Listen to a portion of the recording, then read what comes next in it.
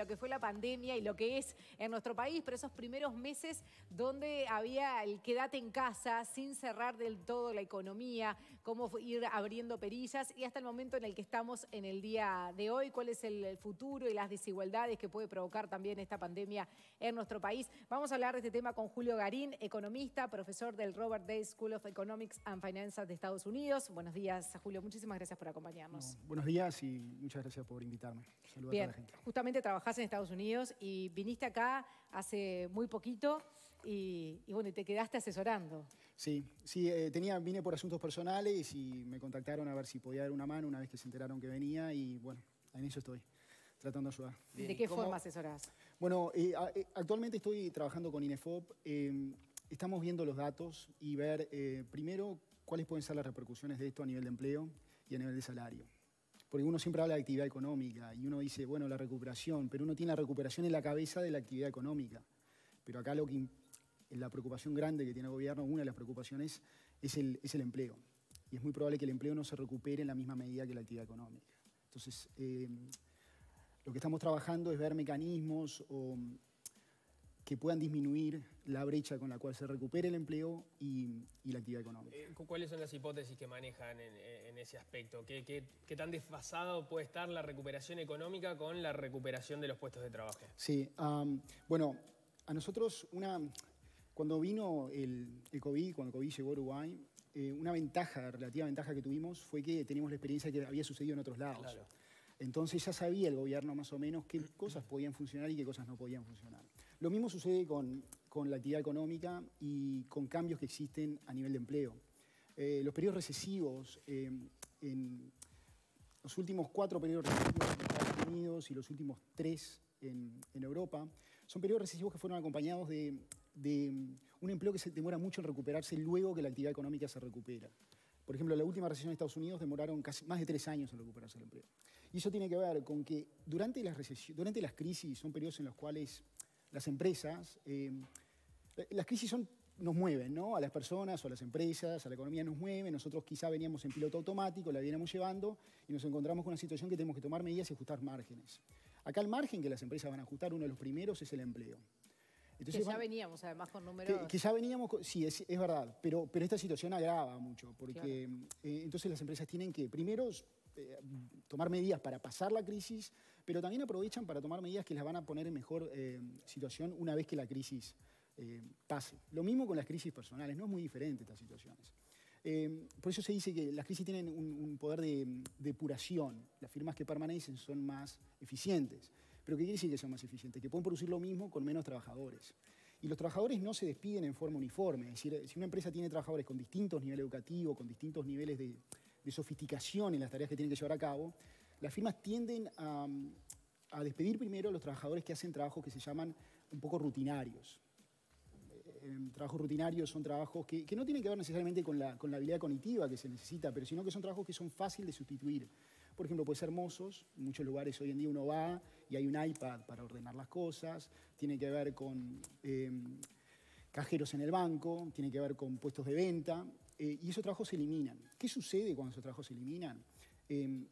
Que esos trabajadores, dependiendo de la edad, les puede ser muy costoso irse a los sectores que están creciendo, porque hay sectores que van a crecer. De hecho, hay sectores que están creciendo en forma no sustancial, pero se han recuperado un poco. Entonces, ¿cómo se hace para disminuir el tiempo que les lleva a trabajadores que adquirieron durante su vida cierta capacidad, ciertas este, habilidades y que se muevan a sectores que, los cuales no tienen idea cómo funciona? ¿Eso se puede paliar con estímulos a las empresas, como ahora el gobierno tomó algunos estímulos, dando 5 mil pesos? Este, ¿O hay que trabajar directamente en la recapacitación de los trabajadores?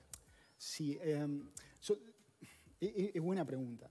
El estímulo de por sí no va a hacer que un trabajador gane habilidad. Primero, el estímulo que, le pueden dar, eh, que se le puede dar a una empresa para que contrate a un trabajador, lo único que va a hacer es que la empresa que está en el margen de si contrata o no, contrata al trabajador que necesita contratar, al que quiere contratar. O sea que aunque no, eh, hubiese estímulo, eventualmente lo contrataría porque lo necesita.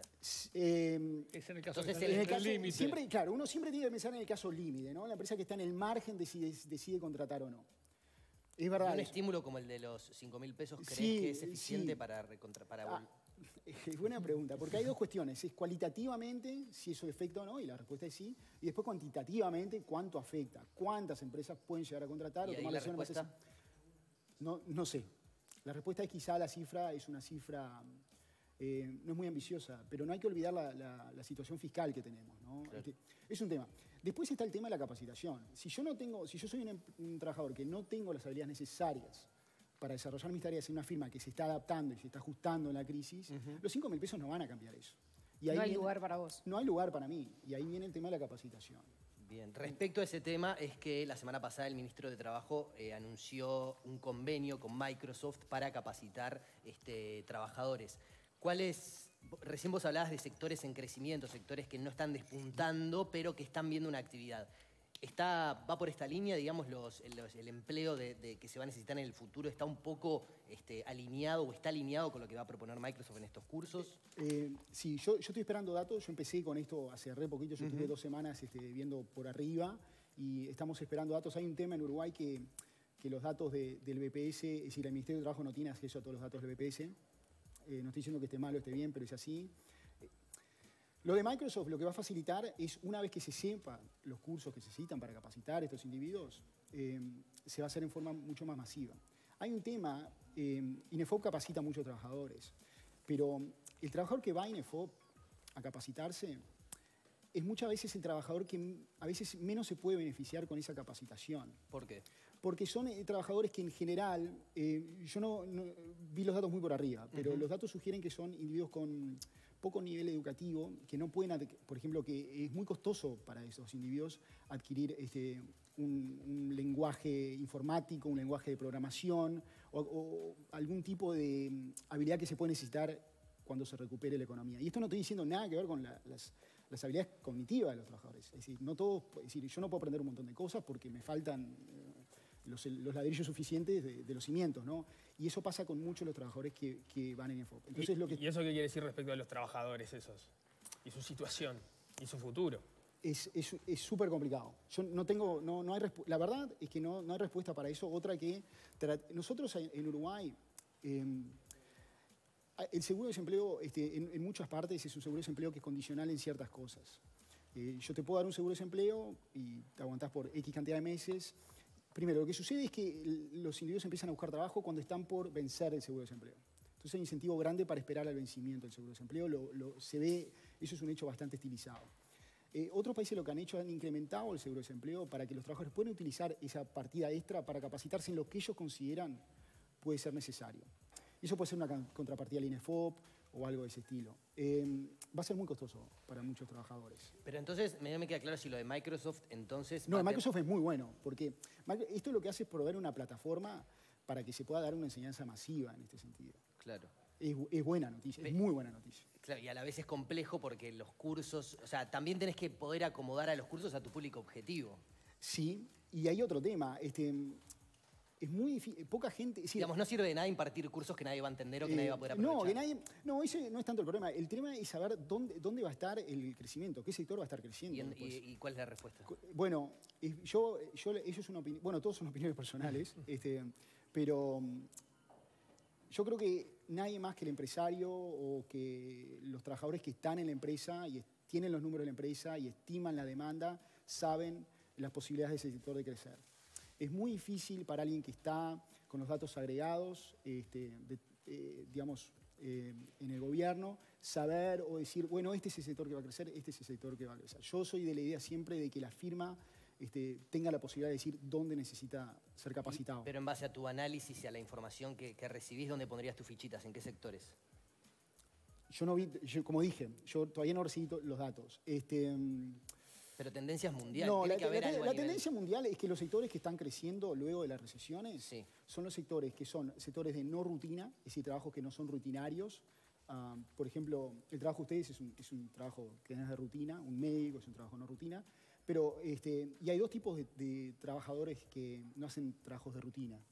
Uno son los trabajos de, de- al- que se necesita mucha capacidad cognitiva o de socialización, y el otro son trabajos más mecánicos. Por ejemplo, personas que trabajan en, en sanita- en sanitarios, este, plomeros, electricistas, este, peluqueros, eh, gente que trabaja en el sector Oficios. Esos, esos, eh, dos, esos esos sectores con, trabajadores que necesitan esas características para desempeñar su tarea son sectores que han incrementado su empleo en cada una de las recesiones después de los años 80 que ha habido. Los únicos que han perdido han sido los trabajos rutinarios este, en el medio, digamos, que se llama el, polarización, porque lo que se ve es mm, el, medio, los trabajos rutinarios se pierden. ¿Cómo, ¿Cómo, juegan los sindicatos en todas estas ecuaciones? Porque a veces el sindicato dice, bueno, no, no, queremos ni cero pérdida de empleo, de puesto de trabajo, lo que es lógico y, razonable, pero se saltean el, el, el, entender que a veces hay que, eh, está bien, pero hay que recapacitarse, porque si seguimos haciendo lo mismo y que ya no se necesita, eso va a explotar por otro lado y no nos va a ir bien. Em, sí, eh, yo entiendo, es decir, la, tarea del, sindicato es proteger al trabajador afiliado. Entonces tiene mucho sentido que el, sindicato haga eso. Es decir, como tiene sentido que el empresario o los, los lobbies de empresarios defiendan al empresariado. Em, creer que no va a haber costos desde el punto de vista del empleo que van a ser persistentes, eh, yo creo que es un poco es ingenuo, van a haber costos. El tema cómo distribuimos los costos asociados con esto. Y también otra cosa que tenemos que tener en cuenta, ¿no? y esto en economía, hay un tema de filosofía de la economía política, que tiene que ver con que soluciones, soluciones permanentes a problemas transitorios pueden ser un problema permanente. Entonces, lo que hagamos en esta recesión, de, si este, decidimos extender el seguro de desempleo, si decidimos quizá brindar seguro de desempleo no permanente, pero extenderlo sustancialmente a trabajadores que tienen edad avanzada, eh, eso no quiere decir que esa solución, que es transitoria para esta, solución, para esta situación específica, tenga que ser mantenida en el futuro. Y yo creo que acá hay que sincerarse y saber separar esas dos cosas, porque va a haber muchos incentivos que una vez que se hace algo para, para esta situación, se mantengan, se transforme en status quo. Y eso puede ser aún peor. A, propósito de la tensión entre salario y empleo, acabamos de salir de una negociación del Consejo Superior Tripartito que implicaba un acuerdo por un año puente en el cual los trabajadores de alguna manera asumen que van a perder salario, pero se espera que a partir de 2022 comience una recuperación salarial atada a que haya una recuperación de la economía. Sin embargo, vos ahí planteabas el problema de que de repente el, empleo no se va recuperando de la manera que se va a ir recuperando la, economía. Eso quiere decir que en ese 2022 de repente suben los salarios, pero vamos a tener problemas con los puestos de empleo. Eh, sí, yo no sé qué va a pasar con el salario porque uno, esos contratos son salarios nominales en general, ¿no? No sabemos lo que va a pasar con la inflación, el Banco Central ha tomado buenas medidas, pero muchas veces hay parte del salario que se va a licuar. Lo que sí es claro que el aumento nosotros tenemos que darnos cuenta que el aumento del salario va a repercutir en la cantidad eh, de los puestos de trabajo. Eso no, no, hay forma que no sea. O el mercado de trabajo se ajusta por cantidades o se ajusta por precios. Eh, en esta situación en particular, eh, los salarios son bastante rígidos a la baja, entonces se está ajustando demasiado, no demasiado, pero se está ajustando por cantidades. el, tema de, los, de, los, salarios es que mm, la rigidez a la baja de los salarios no, no conduce a que el empleo se recupere tan rápido como se recuperaría si los salarios fueran un poco más flexibles. Ahora bien, en países como Estados Unidos, donde los salarios son bastante flexibles, igual lleva tiempo. Porque lo que yo hablaba del tiempo que demora en recuperar eh, el trabajo o machear de nuevo un trabajador con una firma, no solamente depende del salario que la firma esté dispuesta a, pagar, sino que depende de que a veces la firma no encuentra un trabajador con las habilidades necesarias. Entonces eso, por más que el salario sea bajo, por más que nosotros digamos, bueno, el salario, eh, es decir, supongamos que vivamos en un mundo que no hay salario mínimo. Bueno, aunque aún cuando ese sea el caso, si yo no puedo encontrar un trabajador que tenga las habilidades que yo necesito para que se desempeñe en mi firma, yo no voy a no voy a cubrir ese puesto. Y ese trabajador que no tiene esas habilidades va a estar desempleado. Entonces el salario es una pata del tema, pero la otra pata tiene que ver con lo que se llama el, desacople de habilidades que se necesitan y, que son ofrecidas al mercado de trabajo. Y ahí tiene que haber un diálogo entre, por ejemplo, universidades, entre institutos de formación, supongo. Sí, totalmente. Y, ¿Te consta que exista eso así tan fluido? Eh, no, es un problema parte de lo que yo estoy tratando, es decir, estamos tratando de hacer, o con el equipo, yo estoy trabajando con técnicos del Ministerio de Trabajo y el NFOP, es lograr un poco de institucionalidad, es decir, tratar de lograr cambios que persistan más allá de esta recesión. Esto, las crisis son oportunidades y realmente son, son costosas, súper costosas, pero son momentos en los cuales uno dice, bueno, yo venía en piloto automático, ahora voy a tratar de hacer cosas para no caer de nuevo en una situación este, que me agarre mejor la próxima vez. Porque van estas cosas van a seguir sucediendo. Ahora, aumenta la, desigualdad y estamos hablando de repente por el, empleo, por los salarios, las posibilidades, las oportunidades, la educación y hasta la posibilidad del teletrabajo, ¿no? Sí, sí. Bueno, sobre teletrabajo eh, hay un, economista uruguayo que está estudiando en Estados Unidos, Rafael Guntín, que ha hecho un trabajo espectacular sobre teletrabajo. Y, yo acá los, los números, eh, lo leí el trabajo hace tiempo, pero Básicamente lo que Rafael mostraba en el trabajo, sugería, es que casi 80% de los trabajadores en Uruguay no pueden acceder al teletrabajo. No pueden. Un 80%. Casi, creo que, si no me equivoco, eh, la cifra es 77%. Casi 77% no tienen la posibilidad de hacer teletrabajo. Y, pero eso está, este, hay, un, hay mucha heterogeneidad. Los sectores de los percentiles más bajos de ingresos, solo un 10% puede hacer teletrabajo. Y de los, de los percentiles más altos, un 50%. Eso es mucha diferencia y hay mucha diferencia entre Montevideo y el interior. Y eso es importante porque para los percentiles más bajos, la imposibilidad de hacer teletrabajo va de la mano de la educación. Este, yo, este, escuchaba a Robert Silva. Este, la, educación, eh, cuando uno era chico, la educación, mandarnos a la escuela, era mandarnos a la escuela. Es decir, era educación solamente. Porque en la casa siempre había alguien que en definitiva se quedaba. Es decir, no era que me tenían que mandar a la escuela porque en la casa no había nadie.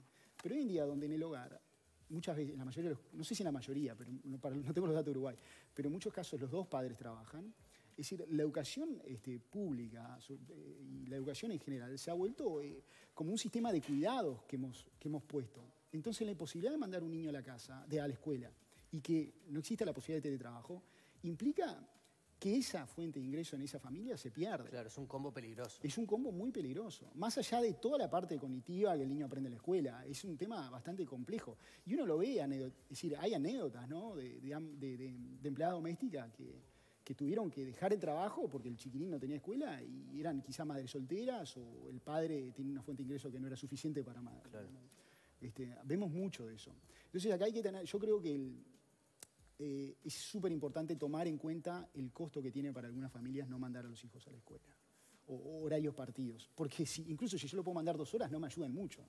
Este, eh, ese es el tema. Van a haber efectos redistributivos de esta recesión. E, eso no, no, hay duda. Ya los estamos, lo estamos viendo, pila. Mm. Este, eh, Regresivos. Sí, sí.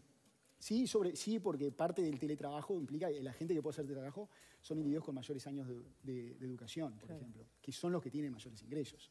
Si ellos pueden seguir, eh, si ellos pueden seguir digamos, este, eh, recibiendo su, salario, los de menores ingresos, que no pueden ir a teletrabajo, que no pueden hacer teletrabajo. O sea, las crisis son oportunidad, pero también profundizan las desigualdades.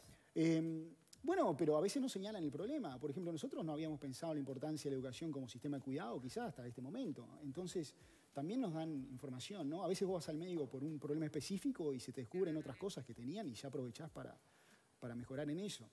Lo, es decir, la situación ya, está planteada. Es decir, esto no podemos volver atrás y ya está.